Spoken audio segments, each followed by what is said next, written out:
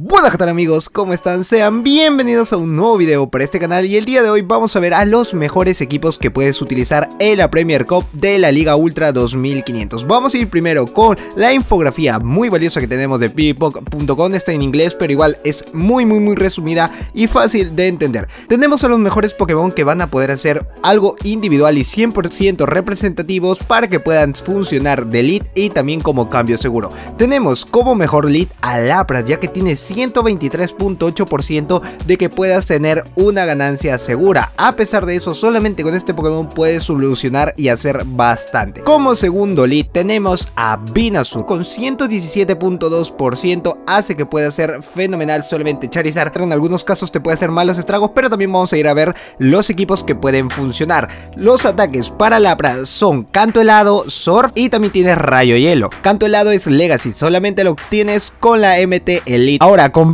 Sur es lo mejor látigo cepa planta feroz que también necesita la MT Elite y Bomba Lodo. Como tercer lead principal y uno de los Pokémon que te va a costar muchos polvos estelares es Drifling.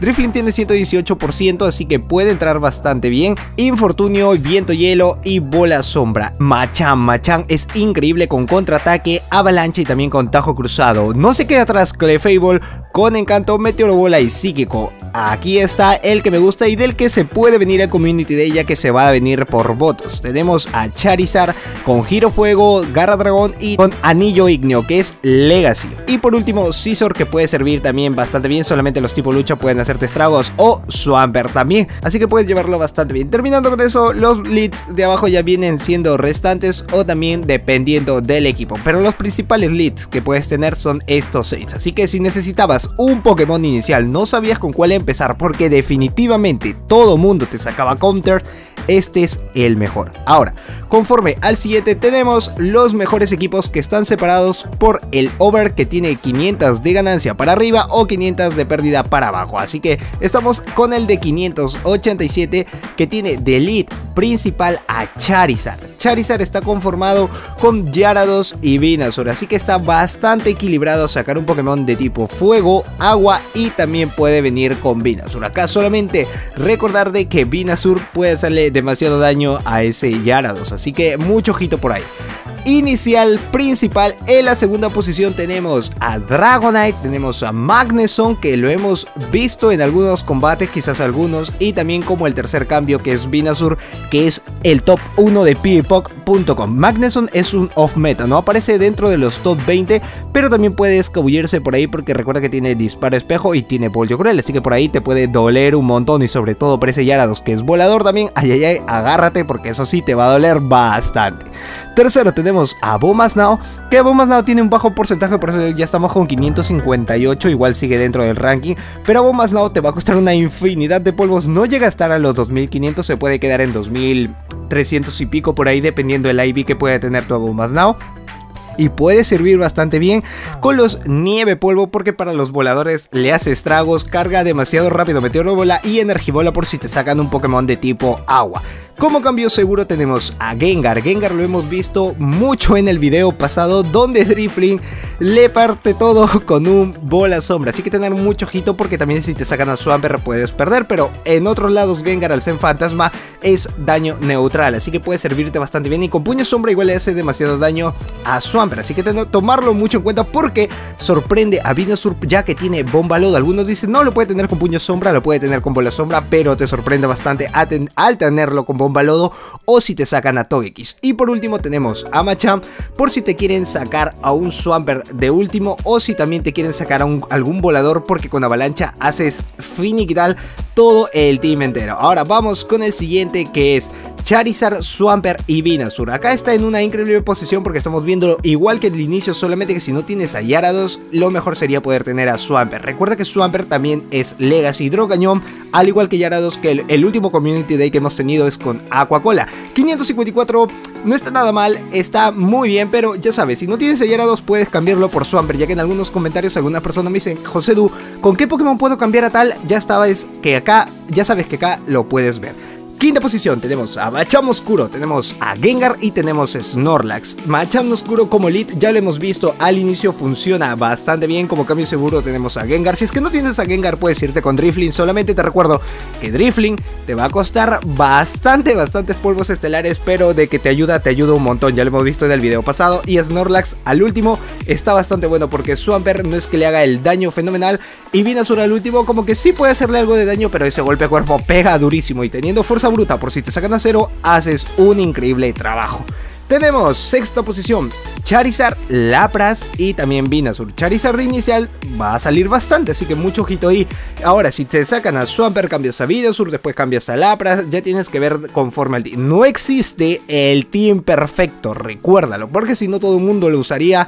Y pues no, lo que hace Niantic es sí o sí, quieras o no quieras, te va a sacar counter en cualquier momento y ahí es donde tu habilidad va a tener que resolver. Algunas veces Niantic se pasa ya y te saca los counter hasta de cada Pokémon en todas las Pero en algunas ocasiones ya depende mucho tu habilidad porque al final el cambio es seguro o si no el rival se llega a confundir. Pero bueno, te dejo a Lapras, Swampert y Yarados para que puedas tener esos cambios. Y por último tenemos a Galedit. Galadate es uno de mis Pokémon que me funciona mucho. A punta de básicos hace demasiado daño y aparte tiene hoja aguda que funciona muchísimo. Para Swampert me ha funcionado bastante. Solamente que un hidrocañón también te regresa a la Pokéball, así que tener mucho cuidado y mucho ojito con él. Y por último tenemos a Magneson y Snorlax Oscuro. Ahora puede funcionar mucho más Snorlax. Ahora si te sacan Machando Oscuro al final también es GSF totalmente. Y tenemos acá a la lista de pipoc.com los 7 mejores teams. Pero más abajo de eso ya no existe casi nada, son 500. O sea, estos son los mejores teams que puedes sacar conforme a los teams basados que te pueden sacar la mayoría. Es por eso que lo ponen en este rango. Terminado con esto, porque no es la única infografía que tenemos, también tenemos una parte donde vamos a estar viendo a los mejores iniciales, los primer picks, con el cual puedes hacer un increíble trabajo. Tenemos de inicial a Vinazur que va a estar funcionando bastante bien. Con ese látigo cepa también tenemos con los Pokémon que puede y no puede ganar, así que mucho ojito ahí. Vinazur puede ganarle a Swampert, puede ganarle a Machamp y puede ganarle a Toex. Donde vamos a perder definitivamente es frente a Charizard, Drifling y también contra Gengar. Tenemos a Swampert que puede ganarle a Charizard, Gengar y Snorlax. Donde perdemos definitivamente va a ser contra Vinazur, a Bomasnow y también frente a Yarados. Y Charizard no se queda atrás porque también es un inicial bastante bueno para poder ganarle a Vinazur, a Bomasnow y Togekiss. De los Pokémon que te saca. Ojito, mucho ojito, quiero regresar con Swampert porque esos tres Pokémon de Charizard, Gengar y Snorlax me lo han sacado en un team y me he podido bajar a dos utilizando los dos escudos. Así que de inicial está bastante bueno. Y donde perdemos definitivamente con Charizard volviendo a él es frente a Swampert, Empoleon y Arados.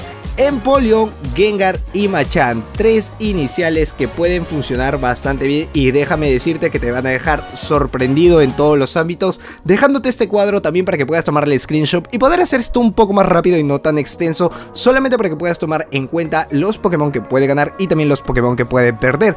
En la parte de abajo podemos ver los ataques correspondientes que ya les he explicado eh, hace un momento, para que puedas saber qué es lo que puedes llevar. Vamos con lo siguiente que tenemos a Togekiss, Lapras y Snorlax que también ya hemos hablado de ellos. Los mejores counter están en azul como Machamp. En el caso de Dragonite, Yarados, Togekiss va a poder resolver bastante bien. Solamente con Agua Cola sí te puede bajar un poquitito, pero no es que sea lo mejor del mundo. Donde perdemos, recuerda que es con Vin Azul porque tiene bomba lodo.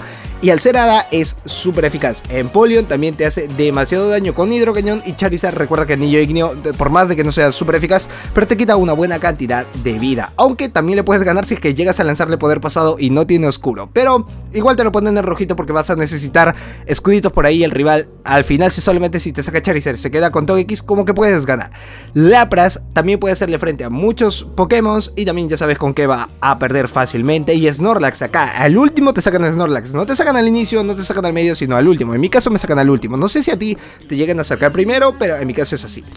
Ahora, vamos con los de abajo que tenemos a Now, tenemos a Drifling y tenemos a Yarados. Así que está en una increíble posición en estos starters iniciales para que puedas tomar en cuenta los mejores Pokémon ya puedes darte seguro seguro qué es lo que puedes sacar y contra qué Pokémon puedes perder porque si te sacan a Drifling y pones a la vez un Lapras tienes cuenta de que puedes ganar fácilmente un Togekiss, pero tiene que estar tu equipo armado contra los counter del Pokémon. Si te sacan un inicial, tú empiezas combinas o te a Charizard, ya sabes que Charizard va a perder frente a Swampert, así que tendrías que tener un Swampert, un Empolio o un Gyarados seguro detrás, cosa que ya debes saber, pero igual no está nada mal poder repasarlo. Ahora, los counter perfecto y que son asombrosos, que casi nadie te saca y que deberías tener, Dragonite con Drago Aliento, Garra Dragón y con Vendaval. Puede ganarle a los tres iniciales que hemos visto en un solo team hace un momento.